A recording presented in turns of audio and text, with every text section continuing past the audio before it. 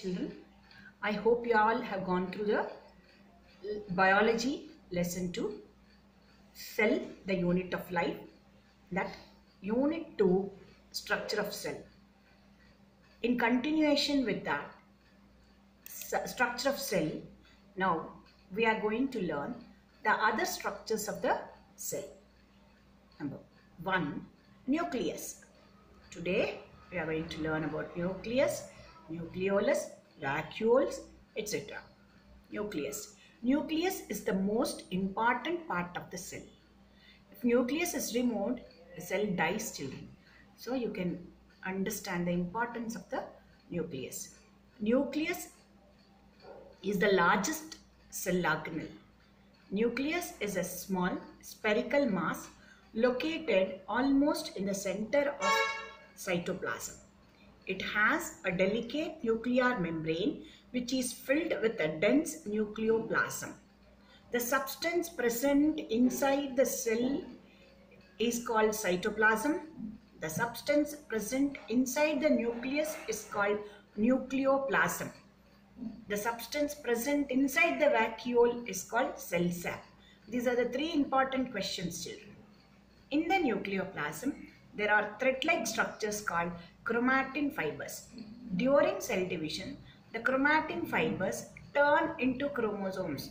That means an ordinary cell, when it is not undergoing any cell division, if you observe, you will find nucleoplasm containing chromatin fiber, fibers in the form of reticulum. Reticulum means network. That is why it is also called as chromatin reticulum. But during cell division, these chromatin fibers turn into chromosomes. The number of chromosomes is def def definite in each species.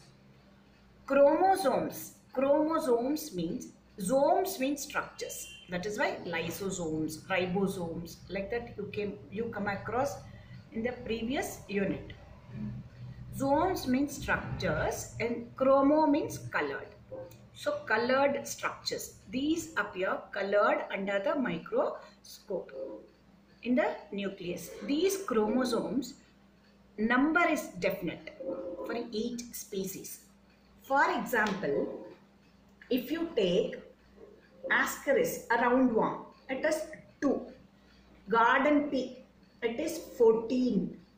Onion, it is 16. Suppose you take lion, it is 38. Like that, chromosomes of man is 46. So every time the chromosome appears in pairs, 2 is equal to 1. Suppose if I say 46 chromosomes in man means 23 pairs. The number is definite for each species. The chromosomes carry the genetic characters from the parents to offspring through the union of the egg of female and the sperm of male means suppose the structures like face cut, color, hair structure, eyeball structure all these are inheritance that is from your grandparents you will get. When you go to a doctor saying that you have got some wheezing problem, the question doctor asks you is, is there anybody having at home? Grandparents or somebody? Like that. That means you get it through your parents. Not only diseases, several characters we inherit from our parents.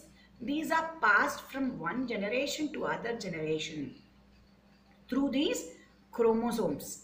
Chromosomes contain a genetic material children. Chromosomes are made up of chromatin which is composed of hereditary units called jeans. So the units of hereditary are genes, not our American genes. That is genes, G-E-N-E-S. Genes are made of DNA, deoxyribonucleic acid, a complex chemical substance.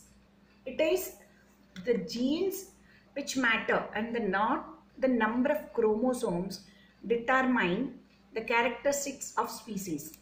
For example, lion tiger and house cat all have 38 chromosomes for that species. That is, if you take any lion, lion will have 38 chromosomes. Any tiger, 38. So, definite for that species. But it doesn't mean that they determine the characters. The characteristics are mainly determined by genes only. Got it? Now, each nucleus has one or more round shape nucleoli inside the nucleus. Nucleus singular, nuclei plural, nucleolus singular, nucleoli plural. The nucleolus participate in protein synthesis by forming and storing RNA. While learning RNA, you have learnt RNA helps in synthesis of protein. That is protein synthesis. Got it? So, the function of nucleus you are going to learn.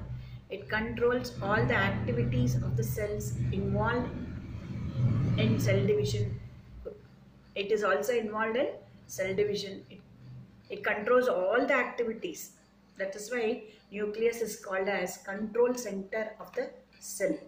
Chromatin fibers or DNA present in the nucleus help in transmission of hereditary characters from the parents to the offsprings. They produce ribosomes and also dictates ribosomes to synthesize proteins. Next structures we are learning is vacuoles.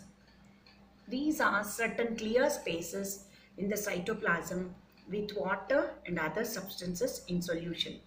Plant cells have larger vacuoles with fluid cell fluid called cell sap, while animal cells have fewer vacuoles and smaller ones. Vacuoles are covered by covering called tonoplast. Here also you have got three questions children. The outermost covering of animal cell, cell membrane, the outermost covering of nucleus, nuclear membrane. The outermost covering of vacuole means tonoplast. And the outermost covering of the plant cell means cell wall. So you have to be very careful. Read the lesson completely and then write the answer properly. They help in storage of water and other substances such as food, pigments. When it comes to the pigments, you have learned in plastids, there are certain other pigments which are not related to the plastids called as anthocyanins. No, those are all present in this vacuoles. Okay, vacuoles contain pigments and water product, products. They give turgidity to the cell. Got it? Turgidity. When the you take shampoo, sachet or anything, and it is filled with the liquid, it will have some texture. And when you take away water it becomes flaccid plain. Water or whatever liquid present in that sachet.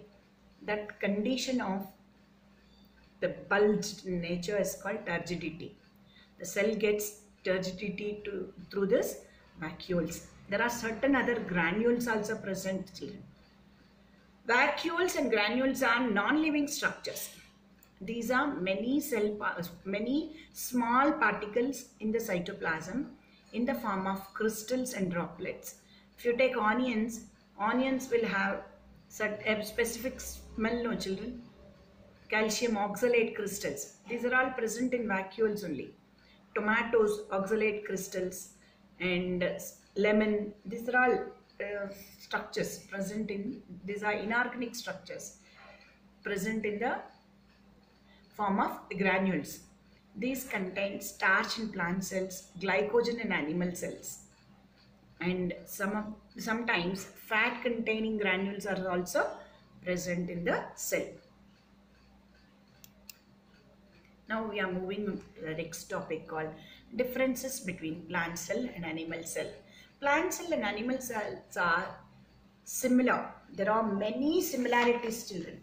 When you take the similarities, the basic structures are similar in plant and animals. Both contain the cell membrane, cytoplasm, nucleus, endoplasmic reticulum, Golgi bodies, mitochondria, ribosomes. However, there are so many important differences also between the two. These differences we are going to learn one by one. First we are going to learn what is a feature which is different. Then we are going to learn plant cell how it is and in animal cell how it is. First let us take cell wall. Cell wall is a definite cell wall and it is made up of complex carbohydrate namely cellulose that is present in the plant cell and it also gives shape, structure and to certain extent it also regulates the um, in it, it, it is completely permeable children it allows all the substances to enter into the plant cell whereas cell cell wall is absent in animal cell totally it is absent centrosomes. That is why whenever we draw no children before going for centrosomes, we will learn about cell wall. When we draw the diagram, in plant cell we'll draw two lines. Whereas in animal cell we'll draw only one line outside. The outer boundary if you write two lines and you write the title as animal cell, they give zero marks. So remember very carefully well while drawing the animal cell draw only one boundary line. Centrosome. Centrosomes are absent in plant cell, they are not present and in animal cells they are present. They take vital role in formation of spindle fibers. Spindle fibers during the di division of the cell. They initiate cell regulation and regulate cell division. Got it? With the help of the asters around them, no? They to form the two poles, spindle fibers and all in the animal cell. They play vital role. Whereas they are absent in the plant cell. Vacuoles are very prominent and one are more and very big and are concerned with, with excretion or secretion of the plant cell whereas vacuoles are very small sometimes they are not present if at all they are present also they are very small sometimes they are temporary they form and then they again dissolve so vacuoles will not have that big role in animal cell coming to plastids plastids are present in plant cells there are no plastids in animal cell in detailed structure about plastids, functions and all you have learned types. You have learned in previous unit. Now coming to size of the cell. Plant cell is usually large with a distinct outlines, two outlines, cell wall, cell membrane. Whereas animal cells are not as big as plant cell. Usually they are small with less distinct boundary, namely cell membrane cytoplasm. Cytoplasm is not as dense as in the animal cell. It is lighter because most of the space is occupied by the vacuole now. And the cell sap is also present prominently in plant cell. So cytoplasm is not as dense as animal cell in plant cell. Whereas cytoplasm is denser and more granular in animal cell. And arrangement of cytoplasm only a thin lining of cytoplasm mostly pushed to the periphery. Why children it is pushed to the periphery? By now you would have got idea no? Because the most of the space is occupied by the vacuole and cytoplasm is pushed to the periphery. The central position is occupied by vacuole whereas in the animal cell central position is occupied by the nucleus. Understand? While drawing you should take care of all these things cytoplasm fills almost the entire cell in the animal cell. Now, we are moving to the another important topic called protoplasm. So, we say living things and non-living things, isn't it? We say living thing means some life processes will take place, moving, breathing, food, digestion. So, all this in your lower classes you have learned. Actually, what is that living matter? That living matter is protoplasm. Got it, children? The modern biologist aim you have learned in your previous lesson as to create life. So what is that they are they wanted to create? They wanted to create a substance called protoplasm. That is the living matter. It is the entire or total living substance of the life. Got it? It is the living matter, the total substance of living cell that is cytoplasm and the nucleus together forms protoplasm. So you might ask me, why ma'am? It is easy now once they know the composition, they can do the protoplasm. They can create life, isn't it? But it is very difficult. They are not able to do, they are not successful till date to create life. Why?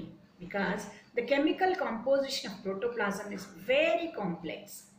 It varies a little from one cell to another although the common elements included in the composition of protoplasm such as carbon, hydrogen, oxygen, nitrogen, sulfur, iron and phosphorus are the same in the cells. Means, suppose you take 10 cells from my body or 1000 cells from my body and go on test the protoplasm. Same living body from my body only they have taken. No? Same muscle tissue, but every cell has its own composition. Little variation will be there. So by studying this if they want to try to do the same composition they don't get protoplasm. It varies very little. That very little little matters here. These elements are in the form of specific specific compounds such as water proteins carbohydrates fats and mineral salts it is also true to say that it is impossible to make an accurate chemical analysis of protoplasm because it ceases to be protoplasm as soon as it is removed from the organism. Means, suppose just now we have learnt from my body they take 10 cells and they want to try to analyze my protoplasm. Okay, they take it out. The moment it is taken out, it ceases to, that is it dies. So, whose composition they are learning now? Dead cell composition, not the living cell protoplasm composition. Living cell protoplasm composition, how they will study if they are not removing it from my body. They have to remove it from my body. The moment it is removed, it ceases to be, it dies. Then how to find out? This is the reason, main reason people are not able to create life. Understood? It is very difficult. So now we are going to learn two different kinds of cells. So good olden days onwards people were not able to know there are so many kinds of cells. They are not able to know the major difference. Once they came to know cytoplasm and nucleus, protoplasm, it became very easy to classify the cells. There are two kinds of cells prokaryotic and eukaryotic. Pro means very primitive. Karyon means nucleus. Got it? Pro means primitive or early. Karyon means nucleus. And Eu means true, complete. And karyon means nucleus. So with this they are able to classify the cells into two kinds. The term prokaryotic, pro, early, primitive or karyon means nucleus refer to the cells containing primitive nucleus as in the case of bacteria. Whereas eukaryotic means eu true complete and karyon nucleus meaning cells with a perfectly formed nucleus as in plants and animals. That means here very primitive organisms like we have learned classification in your lower classes like 6 standards and all isn't it? So there you have learned Protista, Kingdom Protista, isn't it? And you, you have learned the uh, structures like Euglena, etc. They all Euglena, amoeba, man and all. They all have this eukaryotic eukaryotic cells, the advanced cells. They contain prominent nucleus.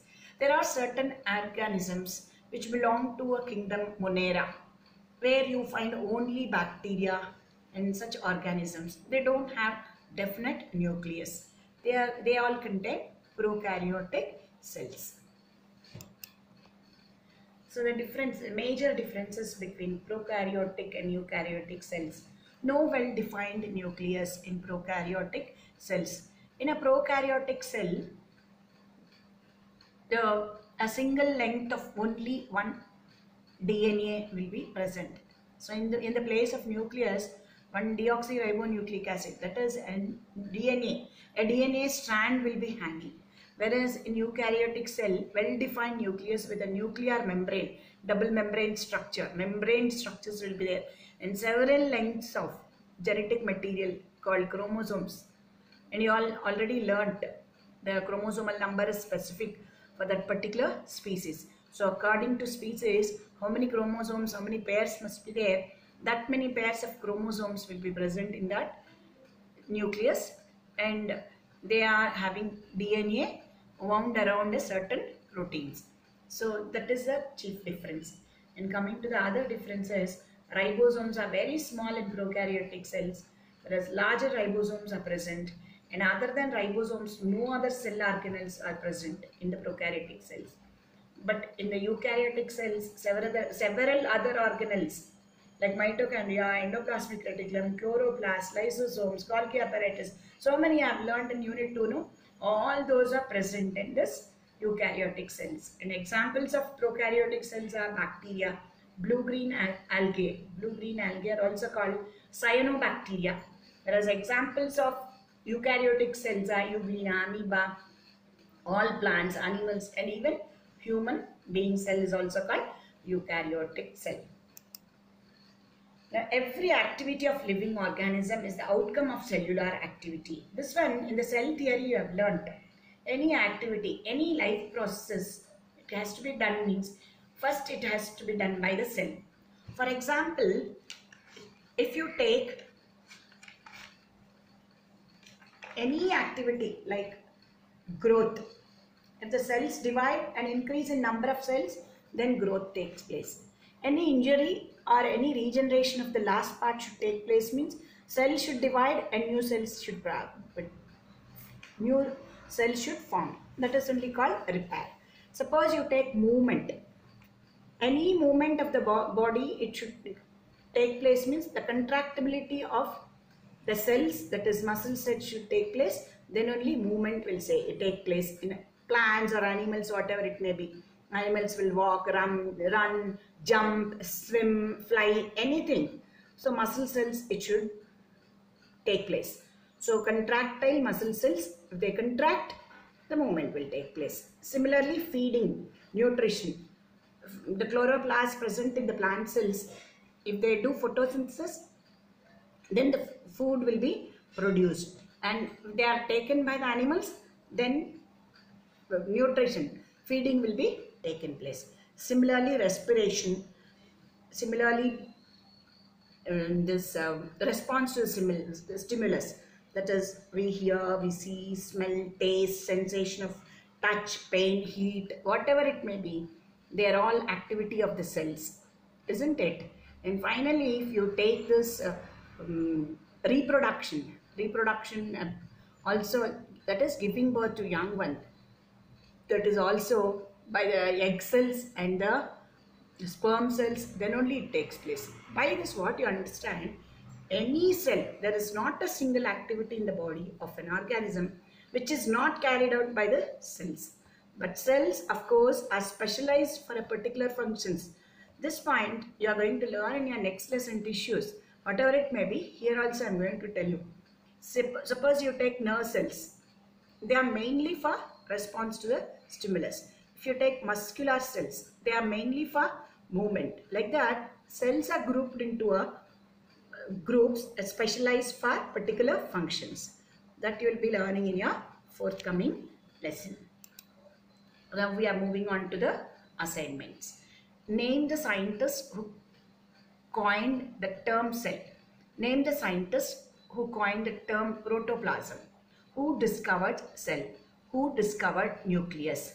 who discovered simple microscope. Next, mention the function of the following. Ribosomes, vacuole, mitochondria, centrosome, Golgi bodies. Mention the location of the following. Endoplasmic reticulum, centrioles, nucleus, ribosomes, cell wall. Differentiate between the following as per the criteria given in the brackets. So this main children try to understand. See you, you know several differences between cell wall and cell membrane for example.